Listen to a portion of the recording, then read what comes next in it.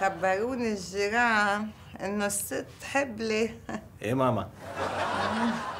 ولا مش هينين هالتليفونات الجداد بحبلوا إيه ماما؟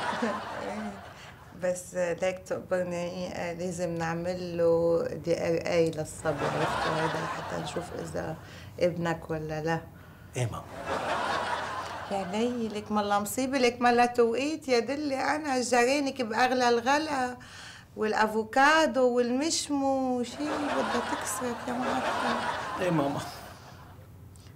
بس بتعرف مرتك عندها حسناتها يعني. إيه ماما؟ إيه إنه إذا توحمت على شيء وما جبت لها إياه مش ممكن تحك وتشوه للصبي ما عندهاش وقت تحك؟